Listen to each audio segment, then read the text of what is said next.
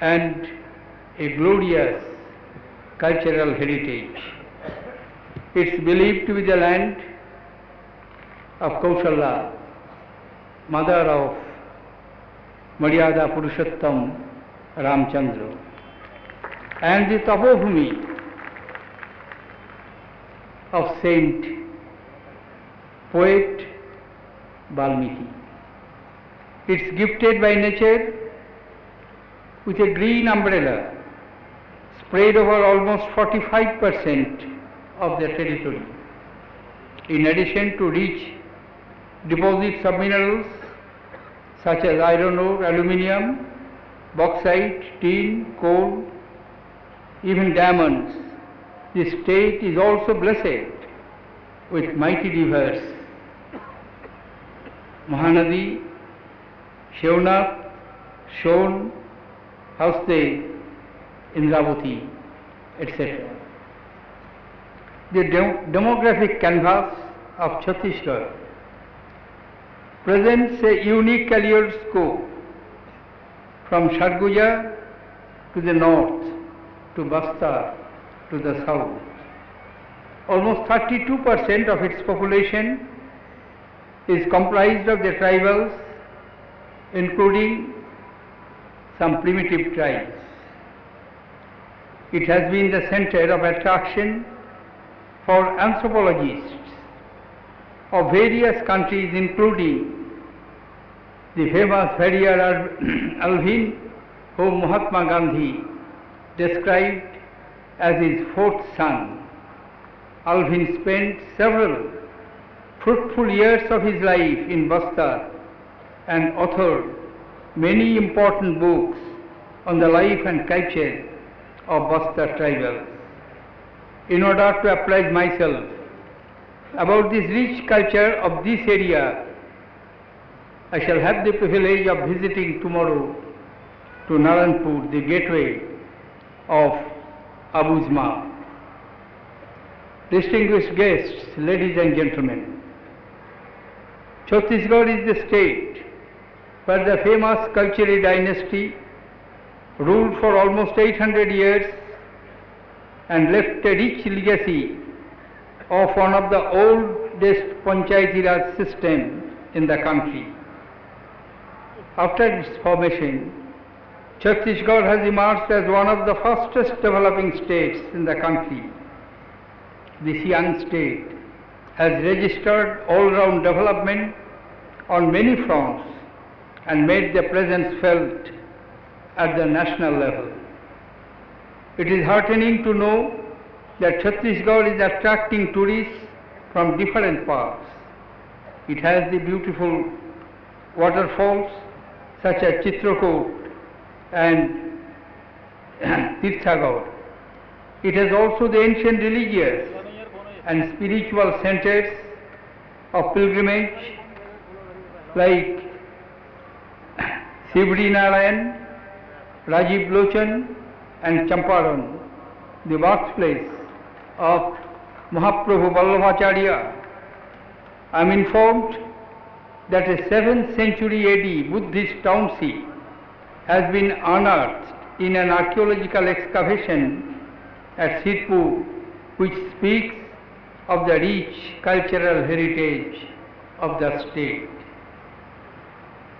Swami Vivekananda spent several years of his childhood in Raipur. The largest period of his life after Kolkata was spent in Raipur. the great poet Rabindranath Tagore visited this place and spent quite some time in Pendra with his wife. While waiting for a train at the Bilaspur station, Rabindranath composed a beautiful poem mentioning the name of the station, the wife of a railway porter, Rukmini, whose life story was beautifully depicted by the poem, poet in this poem, Palataka. Mahatma Gandhi visited Chhattisgarh thrice during the freedom struggle and had amply acknowledged the contribution of the national freedom struggle this country, this state has produced. I salute the great freedom fighters of this land and take this opportunity to pay our respectful homage to them. Chhattisgarh has large number of followers of two great saints, namely Sant Kabir and Guru Baba Ghasidas, who have enlightened us with the profound spiritual wisdom. Kabir Chowda on the foothills of Amarkantak is believed to be the meeting place of Guru Nanak and Sant Kabir. Chhattisgarh is thus not only located at the heart of the geographical the locations but also embodies the best of Indian culture, heritage and traditions as well as its natural beauty. I take this opportunity to congratulate all the prominent persons from different walks of life who have been felicitated for their important contributions in their respective fields. It shows that talent is abundant in Chhattisgarh, which reflects its vibrant and dynamic society.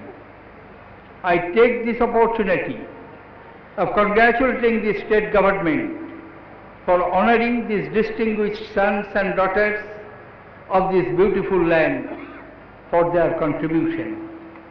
Their contribution is not merely limited to the geographical limit of the territory of Chhattisgarh, but it has enriched our larger society, Indian society as a whole, and there is need of this recognition.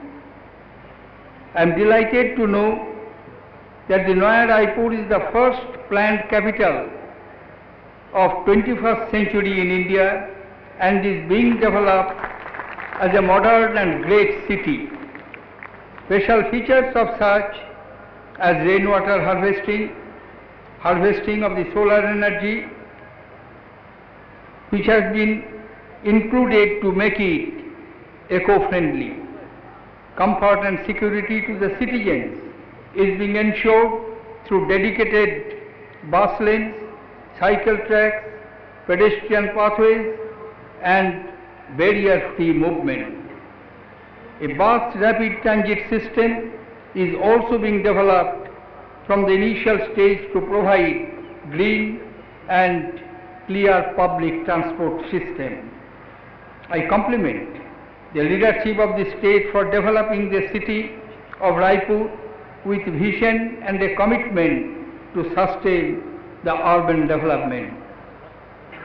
Once again, I congratulate the people of the state on the occasion of the Rajyotsav and dedicate the new Mantralaya building to the service of the people of this beautiful land.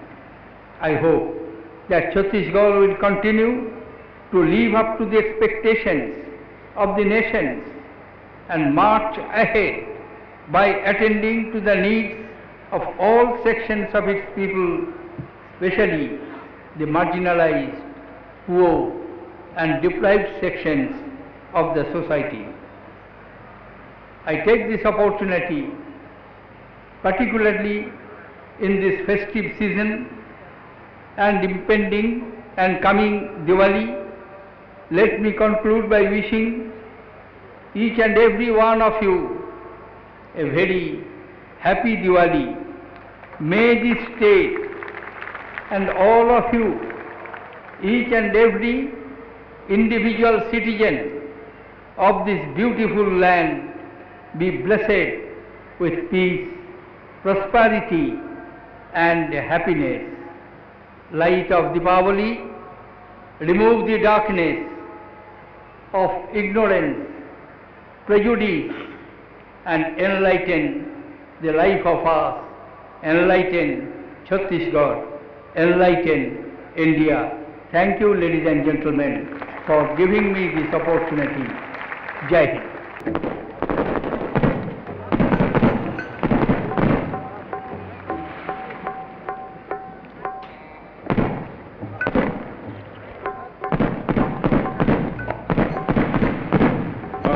प्रस्तुत करेंगे। बांसुरी वादन। कलाकार हैं अताउल्ला खान और साथी। इसके बाद डीपीएस के छात्र छात्राओं द्वारा